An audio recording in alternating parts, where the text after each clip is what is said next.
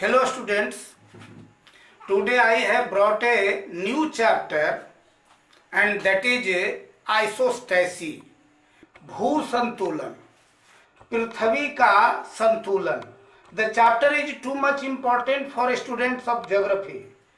It is also important for competitive exams based on UPSC or BPSC it is also important for net examination and also important for the students of master degree MA and BA students. Therefore, all students are uh, equally uh, required um, of this chapter isostacy. भू संतुलन सबके लिए उपयोगी है लेकिन problem यह होता है कि भू संतुलन शब्द का जो अर्थ होता है वह हमें कंसेप्ट उसका समझना चाहिए। भू संतुलन का सीधा सीधी संतुलन है अर्थ होता है कि a mechanical stability between upstanding parts and low lying basins और ओशंस और seas on the rotating earth is called isostasy पृथ्वी गोल है। इस गो, गोल पृथ्वी अस्थिर भी नहीं है। The earth is rotating fro on its axis पृथ्वी अपने एक्सिस पर रोटेट करती है पश्चिम से पूर्व की दिशा में। और इस रोटेटिंग अर्थ पर अपस्टैंडिंग पार्ट्स भी हैं। अप स्टैंडिंग पार्ट जो ऊँचे ऊँचे उठे हुए भाग हैं पर्वत ऊँचा उठा हुआ भाग है। हिमालय 8,850 मीटर की ऊंचाई कुछ अब वैज्ञानिक कर रहे हैं। आठ हज़ार आठ सौ बावन मीटर की ऊंचाई को प्राप्त कर गया है। इतने ऊँचे उठे हुए भाग हैं तो पठार पर्वत के साथ साथ पठार भी ऊँचे उठे हुए भाग हैं। पर्वत में हिमालय पर्वत की बात करें, रॉकीज की बात करें एंडीज की बात करें, आल्प्स की बात करें एटलस की बात करें, ग्रेट डिवाइडिंग रेंज की बात करें, ये भिन्न भिन्न महादेशों में, सभी महादेशों में पर्वत हैं। पर्वत ऊँचे उठे हुए भाग हैं, पठार ऊँचे उठे हुए भाग हैं। फिर मैदान भी हैं। मैदान, चाहे समतल मैदान, उपजाऊ मैदान हो, चाहे डेजर्ट हो, चाहे आपका ग्रासलैंड हो, जो भी हो लो लाइन बेसिन्स और सागर पैसिफिक ओशन है प्रशांत महासागर है, एटलांटिक ओशन है, इंडियन ओशन है, आर्कटिक ओशन है। यह पृथ्वी के गोल सतगोल पृथ्वी के सतह पर all up upstanding parts like mountains and low lying basins and oceans are stable यह पृथ्वी रोटेट कर रही है, इसके बाद भी यह अस्थिर है। ऊँचे उठे हुए भाग में और निम्न भाग में, मैदानी भाग में एक प्रकार के से यांत्रिक यांत्रिक संतुलन पाया जाता है। यही कारण, यही यांत्रिक संतुलन, यही मैकेनिकल स्टेबिलिटी इसके बीच जो पाया जाता है, जिसके कारण सभी अस्थिर हैं, वह ही संतुलन कहलाता है, भू संतुलन कहलाता है। यह पृथ्वी का एक चित्र देखिए। गोल पृथ्वी पर आपको माउंटेन्स भी दिख रहा है लो लाइन बेसिन्स भी दिख रहा है और सागर भी दिख रहा है। ये सागर, पर्वत, मैदान तीनों में जो यांत्रिक स्थिरता है, यांत्रिक स्थिरता को ही भू संतुलन की संज्ञा दी गई है। यानी परिभाष सिंपली हम लोग परिभाषित कर सकते हैं कि पृथ्वी के सतह पर रोटेटिंग अर्थ घूर्णन करती हुई पृथ्वी के सतह पर पर्वत, पठार, मैदान और महासागरों के बीच में यांत्रिक स्थिरता को भू संतुलन कहते हैं। Mechanical stability between upstanding parts and low lying basins oceans और seas on the rotating earth is called isostasy. Isostasis शब्द का संकल्पना का शुरुआत होता है 1735 ईस्वी से। हालाँकि इसका नामकरण यह जो ग्रीक शब्द है आइसोस्टेसियस आइसोस्टेसियस से शब्द से इस शब्द आइसोस्टेसी की उत्पत्ति हुई है। आइसोस्टेसियस को आप ब्रेक कीजिए। आइसोस आइसोस का अर्थ होता है इक्वल यानी समान, यानी अस्थिर। और टैसियस का मतलब स्टैंड स्टिल अस्थिर होना, समान रूप से अस्थिर होना, यानी ऊँचे उठे हुए भाग, निम्न भाग, मैदान, तीनों में सम स्थिति का होना, अस्थिर अवस्था का होना, भू संतुलन कहलाता है। और इसकी शुरुआत, इसकी संकल्पना की शुरुआत होती है 1735 ईस्वी से। 1735 ईस्वी में एंडीज पर्वत जो दक्षिणी अमेरिका के उत्तर से दक्षिण में, पश्चिम में, उत्तरी अमेरिका, दक्षिणी अमेरिका के पश्चिमी भाग में उत्तर से लेकर के दक्षिण तक स्थित है, उसी में इक्वेडर के पास उसके ऊँचे ऊँचे चोटियाँ हैं कुछ चिम्बाराजो और कैटोपैक्सी। चिम्बाराजो क्षेत्र में यह पियरे बर्जर, पियरे बोगर, एक से उन्होंने एक सर्वे किया था 1735 ईस्वी में। हालाँकि पियरे बोगर का जन्म हुआ है सोलह ईस्वी में और मृत्यु सत्रह ईस्वी में हुआ है। तो 1735 ईस्वी में चिम्बो राजो के पास उन्होंने एक यंत्र लगा करके और पर्वत के अट्रैक्शन फोर्स को ये नाप रहे थे। इन्होंने देखा, इन्होंने पाया कि पर्वत ये इतना ऊँचा है, लेकिन जितने बल से यह प्लम बॉब को आकर्षित करना चाहिए, उतना प्लम बॉब को आकर्षित नहीं कर रहा है। ये खोखला है क्या? उनके मन में ये बात आई थी। कि क्यों यह आकर्षित नहीं कर रहा है? उसी तरह से फिर अठारह ईस्वी में जियोडेटिक सर्वे किया गया। कल्याण और कल्याणा में, जो हिमालय के क्षेत्र में, तराई में स्थित है, सर जियोर्ज एवरेस्ट के नेतृत्व में किया गया था। सर जियोर्ज एवरेस्ट के नेतृत्व में, जो कल्याण और कल्याणा का जियोडेटिक सर्वे किया गया, उसमें भी अंतर पाया गया। उसमें भी जो प्लम बॉब को खींचा जा रहा था, खींच रहा था हिमालय, जो अट्रैक्ट कर रहा था हिमालय, उसमें अंतर आ गया और वहाँ भी लोगों ने कमेंट किया कि क्या यह पानी के बुलबुले से बना हुआ है। अब आप देखें कि हिमालयन क्षेत्र में जो जियोडेटिक सर्वे हुआ जियोर्ज एवरेस्ट के नेतृत्व में सर जियो, जियोर्ज एवरेस्ट उस समय भारत के भारत के जनरल सर्वेयर थे सर्वेयर जनरल थे। उनके नेतृत्व में हिमालयन क्षेत्र में लैटिट्यूड निकालने के लिए दो तरह का सर्वे किया गया। एक था ट्रिएंगुलेशन मेथड के द्वारा, यानी त्रिभुजीकरण विधि के द्वारा और दूसरा एस्ट्रोनॉमिकल मेथड के द्वारा, यानी खगोलीय विधि के द्वारा। और दो स्थानों पर किया गया, एक यह देखिए भारत का उत्तरी भाग है, यहाँ आप देख रहे हैं कि हिमालय का विस्तार है, ग्रेटर लेसर और शिवालिक का। इससे छियानबे किलोमीटर तलहटी से, तलहटी में कल्याण और कल्याणपुर है। छियानबे किलोमीटर की दूरी पर कल्याणा है और 603 किलोमीटर की दूरी पर कल्याणपुर है। इन्हीं दोनों स्थानों का सर्वे किया गया था और सर्वे में जो रिज़ल्ट आया, वह इस प्रकार है कि ट्रिएंगुलर ट्रिएंगुलेशन मेथड से जो रिज़ल्ट आया, वह था फाइव लैटिट्यूड निकाला गया, वह फाइव डिग्री तेईस मिनट, बयालीस point two nine four second. जबकि खगोलीय विधि के द्वारा निकाला गया, तब आया पाँच डिग्री तेईस मिनट सैतीस decimal zero five eight second.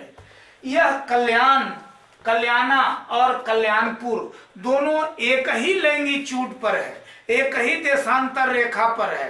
तो जब एक देशांतर रेखा पर है तो इसमें देखा गया कि दो विधि से निकालने पर डिफरेंस आ गया। और वह डिफरेंस है 5.236 सेकेंड का डिफरेंस आ गया। जब ये अंतर नापा गया तो इसको आंका गया कि भार ये पृथ्वी का ऊपरी सतह सियाल है हल्के पदार्थ से निर्मित है और उसका घनत्व 2.7 है तो सियाल का घनत्व की दृष्टि से डिफरेंस नापा गया तो हिमालय को पे यह जो यहाँ पेंडुलम को ये आकर्षित कर रहा था, वह और अधिक आकर्षण करना चाहिए था। यह जो आकर्षण था, यह आकर्षण को इस, ये पेंडुलम का आकर्षण इतना होना चाहिए था जो कि हो रहा था, यह इतना। यानी 5.236 हो रहा था, जबकि होना चाहिए था 15.885 सेकंड, यानी 15.885 सेकंड होना चाहिए था। तो बात उभर के आई कि हिमालय कम क्यों खींच रहा है? हिमालय का अट्रैक्शन कम क्यों है? यही बात चिम्बराजो में, ये पियरे बर्गर जब कर रहे थे, उनका भी यही अनुमान आया था कि चिम्बोराजो पर्वत, वह पेंडुलम को बहुत कम आकर्षण कर रहा है। क्या यह खोखला है? यही बात यहाँ भी उभर के आई। हिमालय को फिर जो आकर्षण करना चाहिए था वह 15.885 सेकेंड होना चाहिए था। दोनों का डिफरेंस लेकिन डिफरेंस कितना हुआ? 5.236 सेकेंड तब इसका एक्सप्लेनेशन किया गया कि आखिर हिमालय कम अट्रैक्शन क्यों कर रहा है? तो इसके एक्सप्लेनेशन में दिया गया कि हिमालयाज और हौलो। हिमालय खोखला है। हिमालय पानी के बुलबुले से निर्मित है। इसीलिए यह पर जितना आकर्षण करना चाहिए, सियाल से निर्मित होने के अनुसार जितना इसको आकर्षण करना चाहिए, उतना आकर्षण कर नहीं रहा है। इसका मतलब हिमालय बिल्कुल खोखला है या पानी के बुलबुले से निर्मित है। दूसरी बात आई कि if Himalayas are not hollow अगर हिमालय खोखला नहीं है the upper visible part is compensated by deficiency of mass from below. यानी अगर हिमालय खोखला नहीं है तो नीचे के कम घनत्व वाले पदार्थ से संतुलित होता है। जितना ऊपर दिख रहा है, उसके नीचे का भाग खोखला है और कम कम भारी है, कम घनत्व वाला है, उसी से उसकी क्षतिपूर्ति होती है। तीसरी बात आई, Himalayas are lower are of lower density Himalaya ही कम घनत्व वाला है, जिसके जिसके चलते ये है लो अट्रैक्शन कर रहा है पेंडुलम को कम खींच रहा है। और चौथी बात आई कि there is a level of compensation beneath the surface of the earth below which there is no change in density यानी पृथ्वी सतह के अंदर कोई ऐसा क्षतिपूर्ति तल है, जिस क्षतिपूर्ति तल के नीचे डेंसिटी में अंतर नहीं होता है। तो जब डेंसी वह क्षतिपूर्ति तल की बात, यहाँ चार बात आई, और चारों बात के साथ यह निर्णय निकल रहा है कि bigger the column lesser the density यानी जो भाग जितना ऊँचा होगा, उसका घनत्व उतना ही कम होगा। जो भाग नीचा होगा, यानी ऊँचे वाले, और smaller the column greater the density अगर वह भाग नीचा है तो उसका घनत्व ज़्यादा होगा। कहने का मतलब सबसे ऊँचा पर्वत है, पर्वत का घनत्व जो है उससे नीचे पठार से कम है। पठार का घनत्व मैदान से कम है। मैदान का घनत्व सागरीय तली से कम है। यही अर्थ इसका निकलता है। अब इस एक्सप्लेनेशन को विभिन्न विद्वानों के सामने रखा गया। अठारह ईस्वी में कंसेप्ट ऑफ़ प्राट के सामने रखा गया। कंसेप्ट ये प्राट इस पर अपने, इन्होंने अपना बक ये दिया, अपना एक्सप्लेनेशन दिया कि क्या एक्सप्लेनेशन होता है। फिर एरी महोदय ने 1955 ईस्वी में दिया, फिर हेफोर्ड एंड बॉबी ने 1909 और 10 में दिया है, जोली ने 1925 में दिया है आइसोस्टेसी पर, हिस्कानन ने 1933 ईस्वी में दिया, और आर्थर होम्स ने 1978 ईस्वी में आइसोस्टेसी के बारे में बताया। वह जो जियोडेटिक सर्वे में डिफरेंस आया, एक्चुअल डिफरेंस कितना आया? एक्चुअल डिफरेंस आया था 5.236 सेकेंड, जबकि एक्चुअल में अगर सियाल का घनत्व 2.7 है और इस दृष्टि से हिमालय को अट्रैक्शन जो करना चाहिए था पेंडुलम को, उस दृष्टि से देखा गया तो हो डिफरेंस होना चाहिए 15.885 सेकेंड यह डिफरेंस हुआ क्यों? यह बात जब प्राट के सामने रखा गया तो प्राट ने अपना मत इस पर व्यक्त करते हुए कहा, प्राट का पूरा नाम था जॉन हेनरी प्राट, जबकि उनको आर्किडिकॉन ऑफ़ कलकत्ता भी कहा जाता है और इनको आर्किडिकॉन प्राट भी कहते हैं। यह आर्किडिकन ने प्राट ने इस पर डिफरेंस पर अपना मत व्यक्त किया कि इसको तो अधिक खींचना चाहिए, क्यों नहीं खींचा? इसका मतलब है density of each higher part becomes lesser than lower part यानी कि जो भाग ऊँचा है, उसका घनत्व तो कम होता है, और जो भाग नीचा है, उसका घनत्व तो अधिक होता है। अगर यही सही है तो इसका मतलब हुआ कि पर्वत का घनत्व प्लेटो के घनत्व से कम होता है। प्लेटो का घनत्व से कम होता है और प्लेन का घनत्व ओशन बेसिन से कम होता है। Density of mountain is lesser than the density of plateau density of plateau is lesser than density of plain and density of plain becomes lesser than ocean basin जो जितना ऊँचा है उसका घनत्व उतना अधिक है उ, उतना कम है और जो जितना नीचा भाग है उसका घनत्व उतना ज़्यादा है। कहने का मतलब there is inverse relationship between relief height and density relief height में और डेंसिटी में उल्टा संबंध है। ऊँचे भाग का घनत्व कम और निम्न भाग का घनत्व अधिक होता है। दोनों में उल्टा संबंध है और इस तरह से प्राट ने, जॉन हेनरी प्राट ने अपना एक कंसेप्ट दिया कि uniform depth with varying density यानी समान गहराई बदलता घनत्व, उसके नीचे एक लाइन ऑफ़ कंपेंसेशन होता है। इस तरह से लाइन ऑफ़ कंपेंसेशन होता है और लाइन ऑफ़ कंपेंसेशन के नीचे सबका घनत्व एक समान आता है। प्रांट का विचार था कि uniform density varying density uniform depth with varying density अर्थात एक ही कॉलम में डेंसिटी नहीं बदलता। एक कॉलम जो है, इसमें डेंसिटी नहीं बदलता, बल्कि डेंसिटी बदलता है भिन्न भिन्न कॉलम में। अलग अलग कॉलम में डेंसिटी बदलता है। लेकिन लाइन ऑफ़ कंपेंसेशन पर आकर के सब बराबर हो जाता है।